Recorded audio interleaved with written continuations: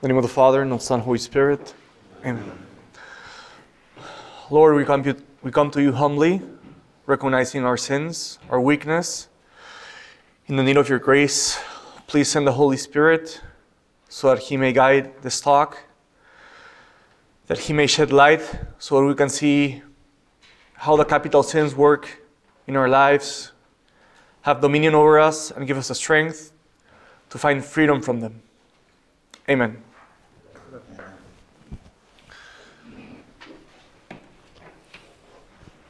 So, this is um, our third talk.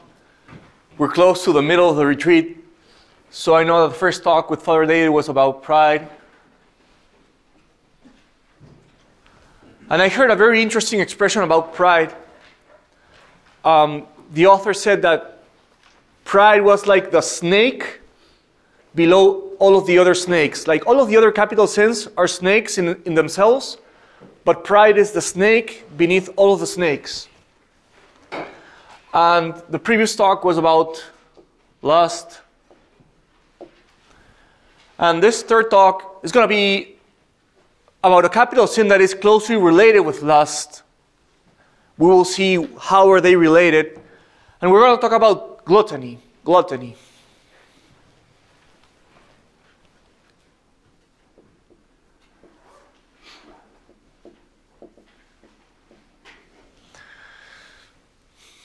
So I want to open this talk with a question. I already asked this question to the men from my small group, so if the men from my small group know the answer, let's abstain from answering. Let's give other people a chance. What are the three things in life that are more pleasurable? What are the three most intense pleasures in life?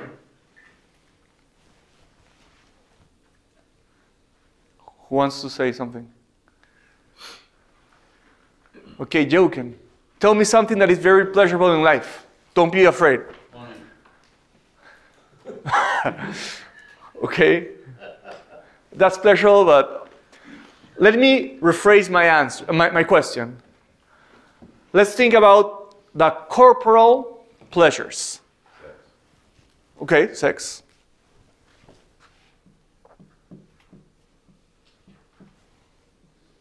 What else is extremely pleasurable and we all, we all enjoy doing? Eating and drinking.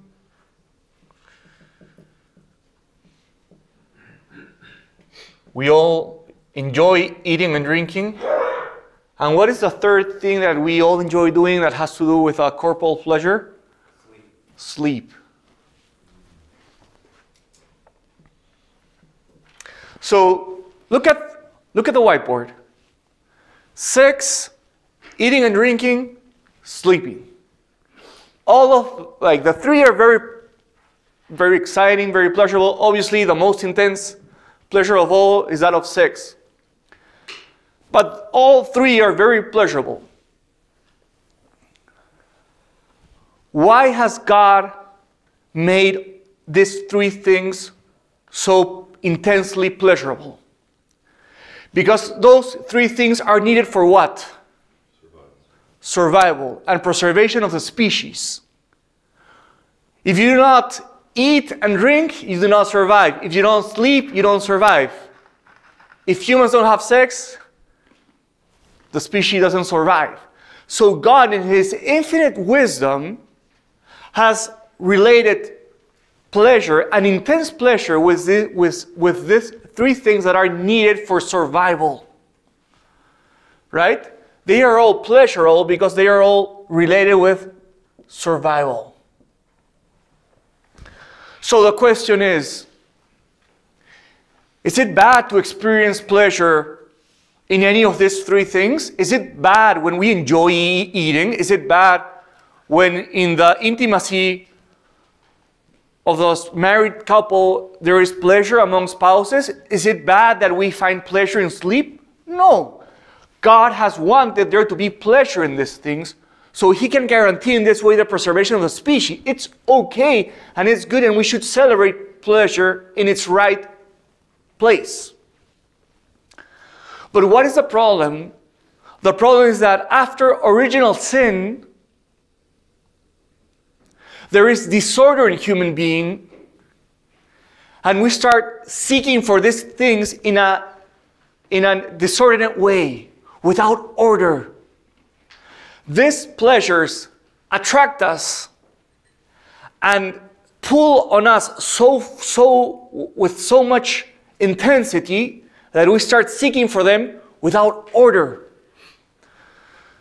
So there is a virtue, there is a virtue that allow us to seek these pleasures in a reasonable way and in a way that leads us to God. What is the name of that cardinal virtue that helps, that helps us relate with what is pleasure in a smart way. Who can tell me? What's the name of that cardinal virtue? Temperance. temperance. So after original sin, temperance is the virtue that allows us to choose these things within the confines of reason and within the confines of reason illuminated by faith. So the virtue that helps us relate adequately with sex, eating, drinking, and sleep is the virtue of temperance.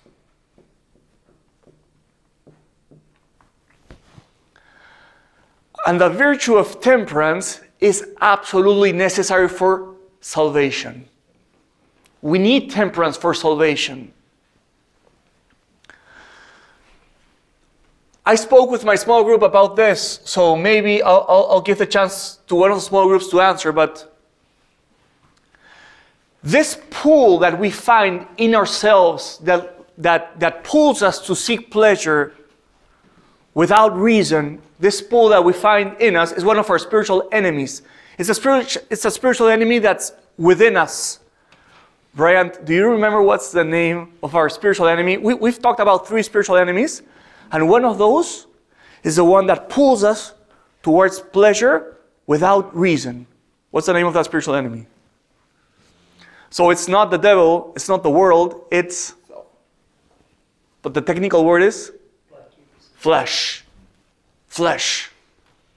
So flesh pulls us to seek these three things besides the consideration of reason because flesh flesh is the desire to seek for pleasure without limits I'm going to repeat this because I think it's important.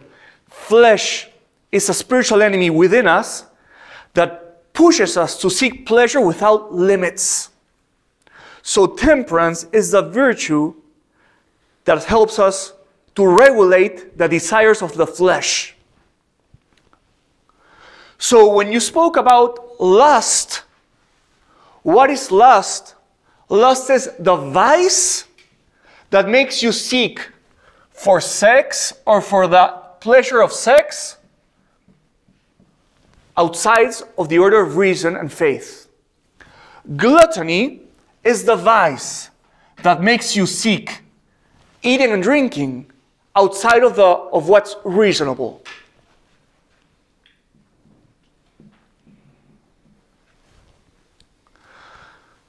So, St. Thomas of Aquinas, he says, What is gluttony? Gluttony is a disorder, is a disordered affection for eating and drinking. That's gluttony. It's when we have an affection for seeking that pleasure outside of the confines of reason and what's appropriate.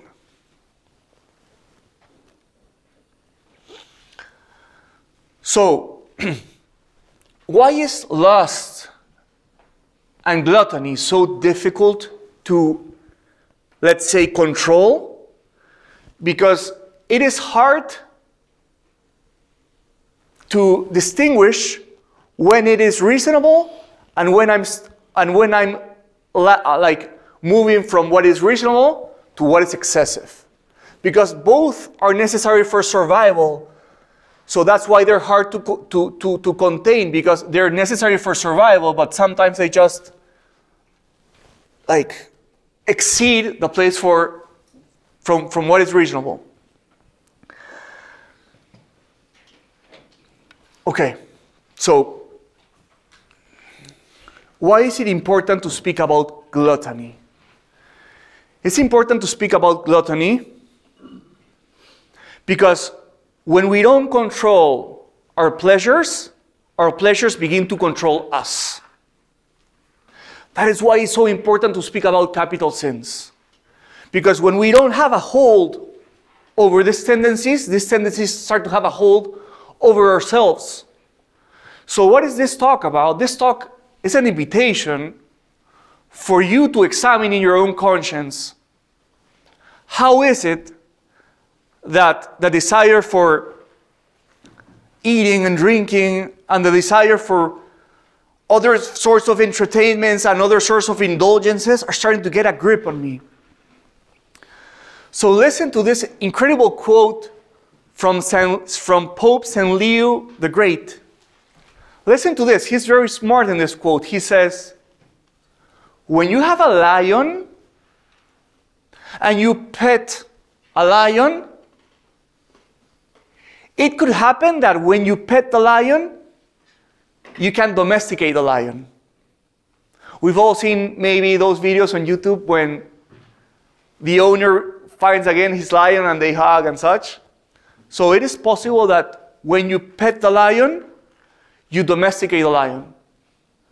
St. Leo the Magno says, with the flesh, it's the other way around.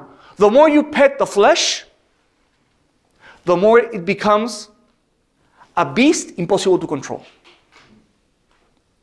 The more you indulge with your flesh, the more you concede to the demands of your flesh, the more the flesh becomes a beast impossible to control. And that is true about lust, and that is true about gluttony. And that is why, brothers,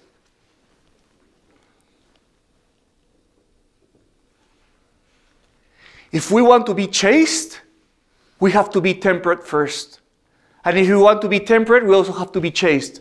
Because when you come to think about it, look, it's so interesting. Lust and gluttony are so related because, in the end, if you're temperate, you'll be able to dominate these two tendencies. The same virtue governs both bad tendencies. And that's why these two tendencies are so related among them. And in fact, they're so related when you come to think about it many times. I hope this won't make us do images in our head. Let's try not to do images, but many times when we talk about sex, we talk about sex with eating language. And that's how closely related they are. Because if you don't dominate one, you won't be able to dominate the other. So the question is next question, right? How do, we, how do you sin against gluttony? There are different ways in which you can sin against gluttony. Normally, we think gluttony is eating too much or drinking too much. But Aquinas teaches us there are more than one way that we sin against gluttony.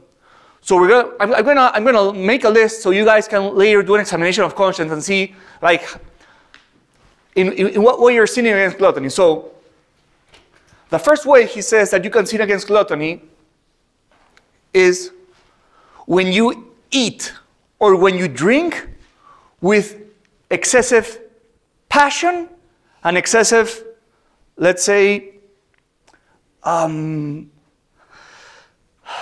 there's a word that escapes me. Armando, ¿cómo se dice avidez? Con excesiva avidez. Federico. Nestor. Okay. Yeah. When you eat with excessive desire.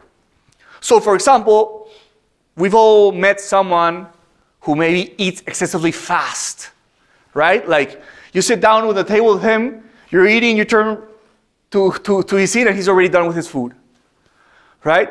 So it's when we eat or when we engage with eating or drinking with excessive passion, when we eat excessively like fast. And this is interesting, brothers. You know why?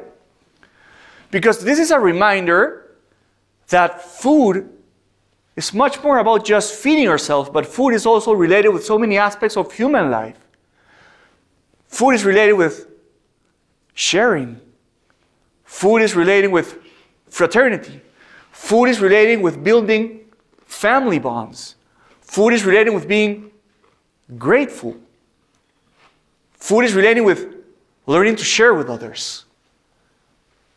And I guess this is a place for me to, you know, guys, you as head of families, you guys are in charge of being able to set up meals in your house that work in a good way.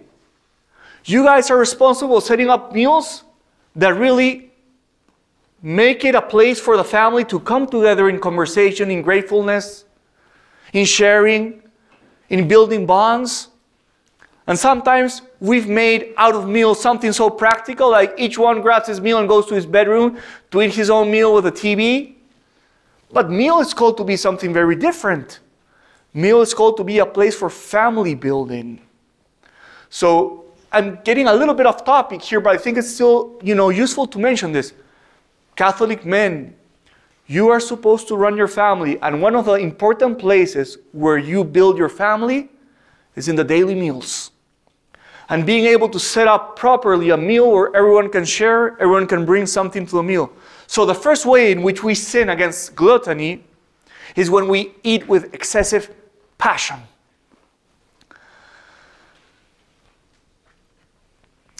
Second way in which we sin against gluttony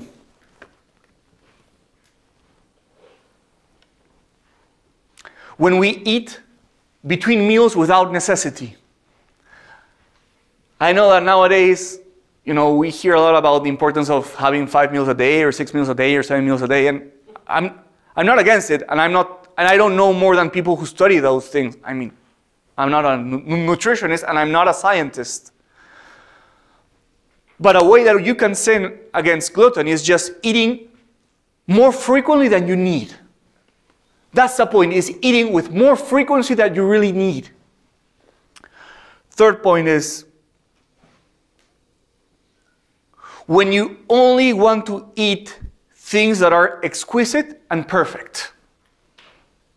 And I think this is also this let's take a little detour, but I think this is also important guys for you to remember that you're supposed to teach your kids that they that they should eat everything, not only what they like, but they're supposed to eat everything.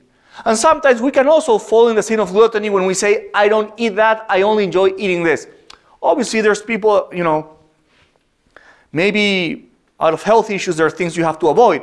But our general disposition, a general expression of the virtue of temperance, is being able to eat everything, everything that, that's put in front of you. Fourth way,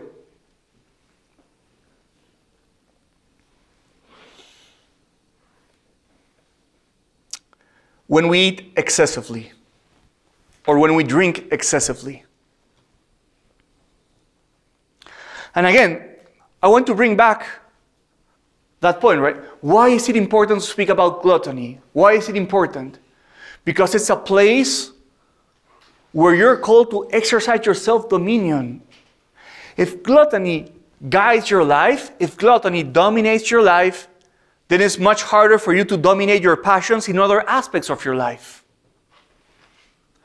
Brothers, when we cannot refrain ourselves from eating more than we need, that is just an expression of how weak our will can be and how drawn to other passions is, is gonna is gonna um, and how drawn to other passions is our will gonna be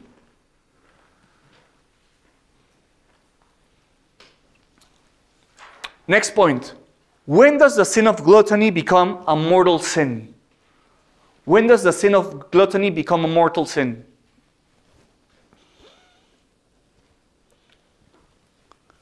It becomes a mortal sin, for example, when I drink excessively and I become drunk. I'm going to give you a definition of drunkenness that I think is useful. And this is not an invitation to drink like all the time, a lot, just as just in as much as I'm not drunk, but drunkenness means to lose your senses. That is what makes like that's the threshold where you um, get into mortal sin when you have lost your senses. So a way in, you can, in which gluttony becomes a mortal sin is when you are drunk.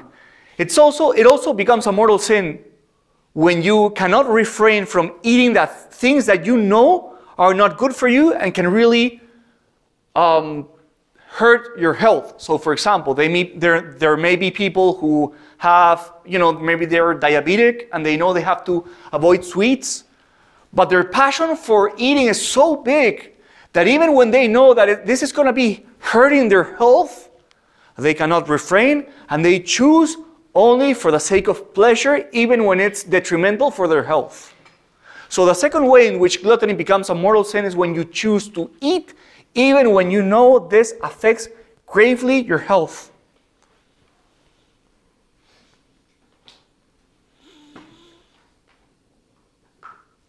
It also becomes a mortal sin when the church teaches that it's a day of fasting and abstinence, and we choose to eat more than we're called to on the days of fasting or abstinence. When it's a day of abstinence and we choose to eat meat just because of the sake of wanting to eat something that we enjoy, that could also become a mortal sin.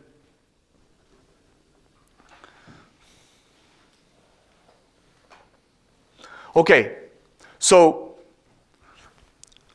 why is it why is gluttony called a capital sin?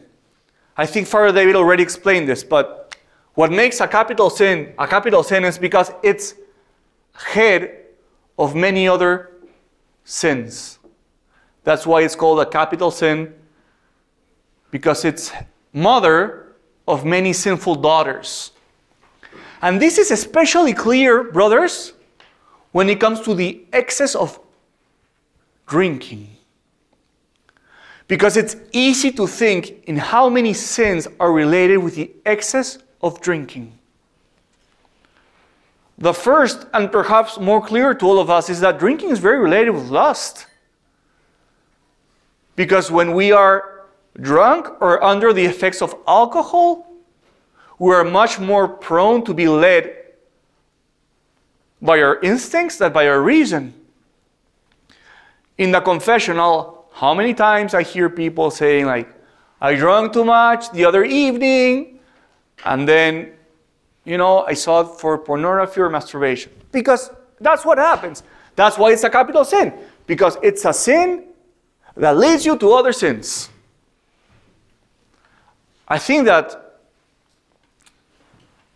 you know, one of the daughters also of gluttony, of the excess of drinking, is that not only, you know, it could lead us to something like pornography or masturbation, but also like um, you tend to be a little like, like excessively loquacious, like you speak too much, you say things that you're not supposed to say, you're less prudent. Sometimes we start being a little bit flirty with other women when we shouldn't be. We start like breaking boundaries. And all of these are capital sins. I mean, that's why we call it a capital sin, right? Because it, it opens the doors for so many other sins. But we also could say it's a capital sin because the excess of eating and drinking can also disturb your health. We're supposed to take care of our bodies. We're supposed to cherish the temple of the Lord that is our body. And sometimes the excess of eating and, and drinking can really affect our health. How many health related issues? How many health related issues with the excess of eating and drinking? Yes, Armando. It's it's it's also related to opposite. How so? Like not eating, not drinking. Yeah, yeah. That's also. I mean, that's also a form of of gluttony but I'm not addressing it because it tends to be much less frequent. It's also a form of gluttony, for example, not wanting to eat because I want to look in at the like in a certain way, but I, maybe this is more common among women. So I wasn't going on that direction because I want to, you know, address what I think it's more um, common among men, right? So it's also, you know, we have to ask ourselves, like, maybe maybe the fact that I don't control my eating and drinking, it's related with, you know, I'm overweight, I have health issues.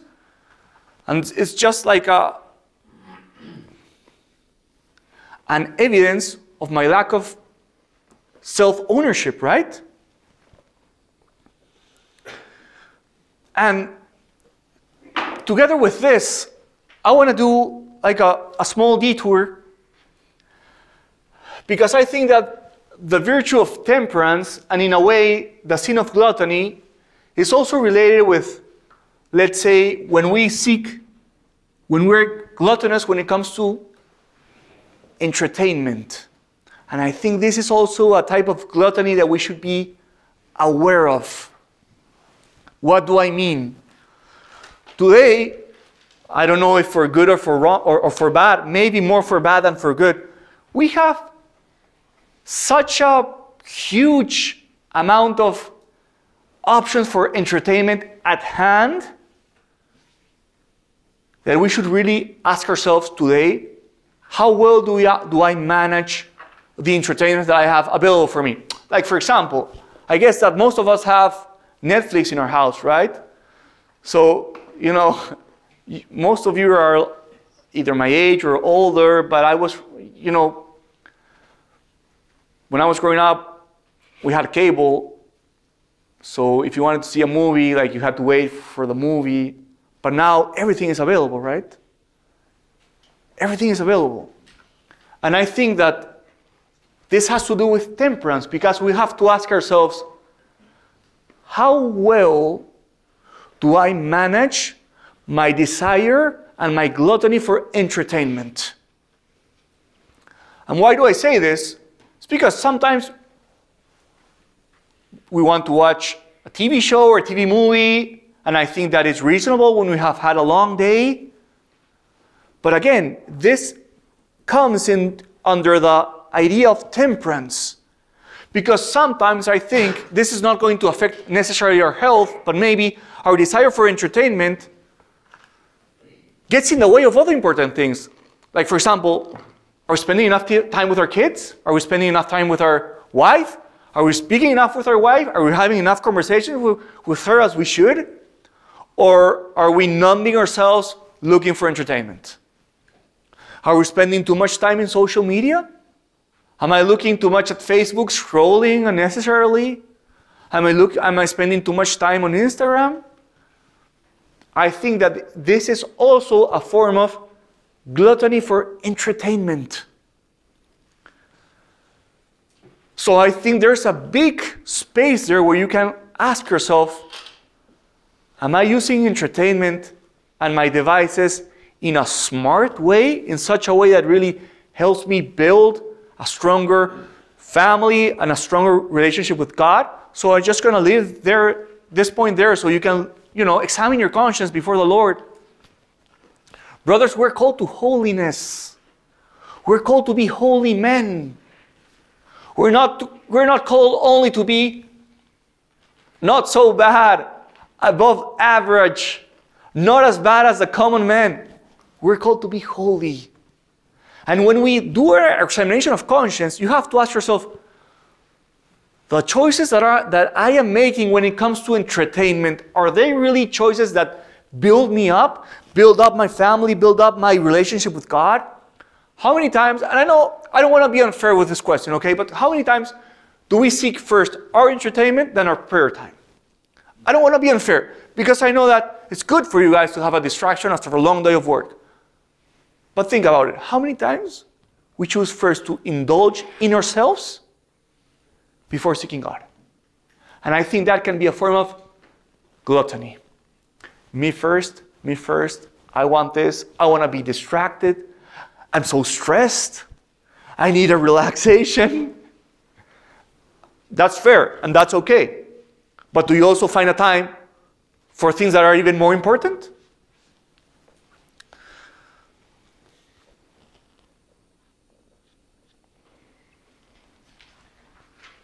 Okay, so last point of this talk how are we supposed to cultivate the opposite, the, the, the opposite virtue, like the virtue that opposes gluttony, the virtue of temperance? How do we, how are we supposed to, you know, work on this virtue? So the first thing is we have to learn and we have to remember that we have to deny ourselves.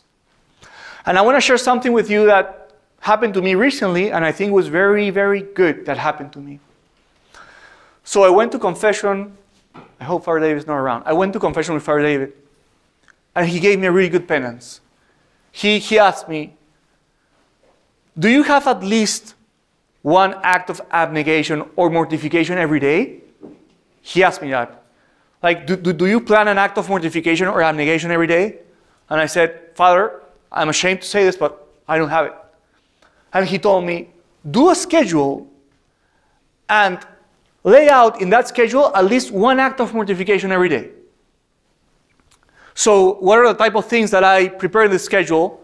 I'm giving up sweets, desserts, snacks, chocolates that I really enjoy several days a week. And you know what? I feel so happy that David gave me that penance. I feel so happy. I feel so joyful that I'm starting to exercise myself in saying no to myself. And you know what you discover when you say no to yourself? That you say yes to yourself in so many occasions that you don't really need it. How many times I chose to have desserts and it's nothing, there's nothing wrong with desserts, right? Especially, I don't know, if you're, if you're wife, you know, she made cookies and such. I mean, there's nothing wrong with it. But sometimes, you know, this penance just opened my eyes to say, wow, how many times I'm choosing to say yes to things I really don't need. So there, there, there's a distinction that, that we have to make. When we give up on things that are not necessary, but they are okay, like things that are not necessary, but they are, let's say, they're not sinful in themselves. That's what we call uh, an act of, let's say, mortification. But when you give up on the necessary, that's called penance. When you give up, so for example, giving up on a dessert, that's an act of mortification. But when you skip a meal, a meal, that's an act of penance. So what I'm calling you guys to do is at least we have to strive for mortification. We have to strive to be able to tell ourselves no in the things that are not sinful in themselves, but not really necessary. Because that helps us build the virtue of temperance. And we need the virtue of temperance. Let me give you uh, a couple of other let's say, more practical tactics or strategies. For example, every time that we have a meal, make sure you bless the meal. Make sure that you order the meal to God's greatest glory. Make sure that you never omit a thanksgiving after the meal.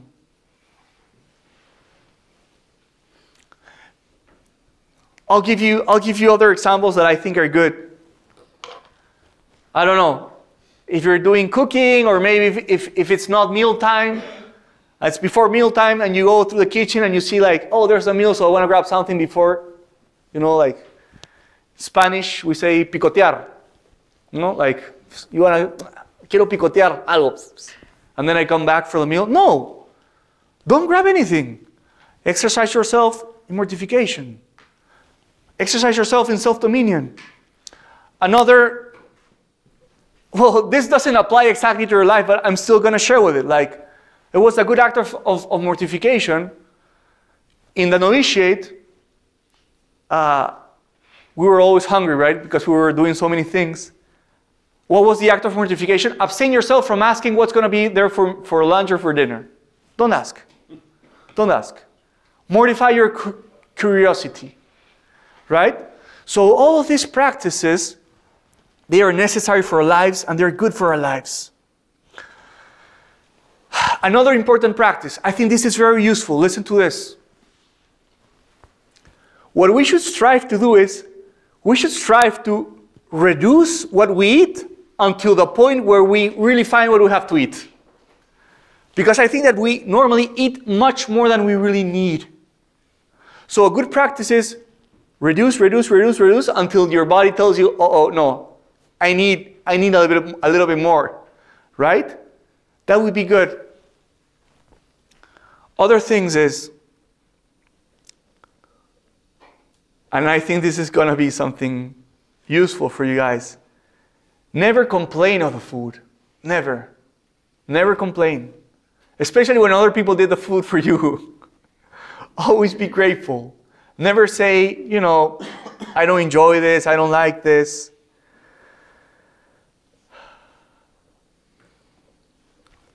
We've, I don't know, I, I know we've, we shared many times this example with you guys, but I'm going to share it again. You know what's an act, a good act of mortification? When the food is a little bit not so tasty, don't add salt to the food. Be able to eat the food even when the food is not perfect. But what's my point? I think we should really, if we really want to grow spiritually, if we really want to strive for holiness, we have to make mortification a part of our lives. And I want to bring it back to the example I gave you yesterday prayer and self denial. What's our problem with prayer if there's no self denial? That prayer is a weak prayer. What happens when there's self denial but there's no prayer? You, you, you want to be a stoic, and that's great, but that's not Christian. We have to join, we have to bring together both things. So now that you that we're departing for a moment of prayer, I want to give you a couple of places in the Bible that you can look into. Maybe once you've gone through the points and you've meditated and, you've, and you've looked into your own life, I want you to look at an interesting story from the Bible Genesis 25, verse 29 to 34. It's the story of Jacob and Esau about a plate of lentils. Maybe you guys remember that story. Look at that story. Look at read that story from the perspective of the capital sin of gluttony, and you'll find a lot of interesting insights. I also want to invite you to go to the letter to the Philippians, chapter 3, verses 19, verse 19 to 21.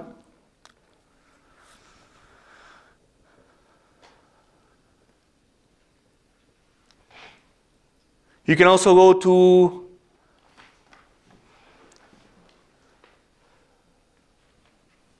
how do you say? ¿Cómo se dice Gálatas? Galatians, Galatians chapter 5, verse 21.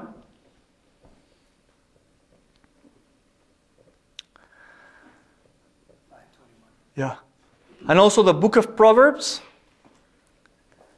chapter 28, verse 7.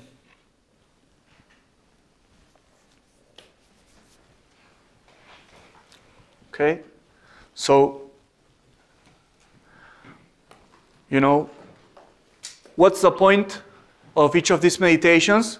This is not a moral theology class. It's true that we get to learn a little bit of moral theology, but this is not a moral theology class. The point is that we receive this talk and we go into a chapel so we can take this talk and bring it to my life. So I can see where I'm failing.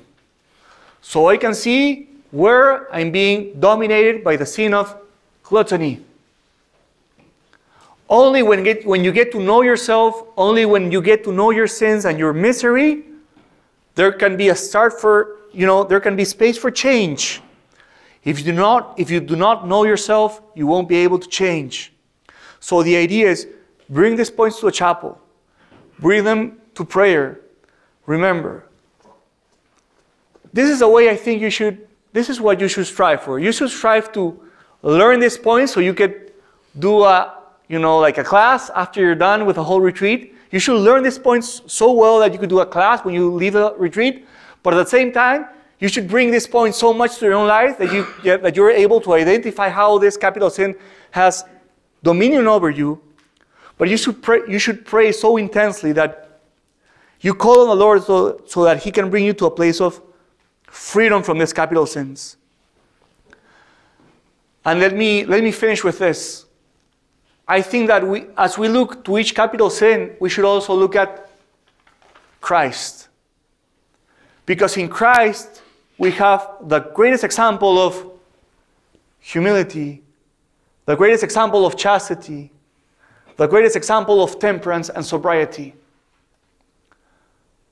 Not only look at, your, at yourself, but also take the time to look at Jesus and to look at how he was able to, you know, really not only die for our sins, but also with his own life shows, show us an example of what we're called to be. That's it, that's it. In Christ, with his life, is calling us to where you are also called to be. Okay, so guys, I think you're doing a great job. We're almost halfway through. I see you very recollect during the prayer time.